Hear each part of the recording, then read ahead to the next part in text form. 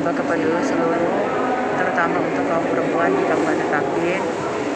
dalam suasana yang saat ini kita dalam eh, masa COVID-19 ini agar lebih menggalakkan membaca Al-Quran terutama untuk kepada anak-anaknya agar waktunya tidak terbuang sia-sia jadi lebih baik kita melakukan kegiatan yang bermanfaat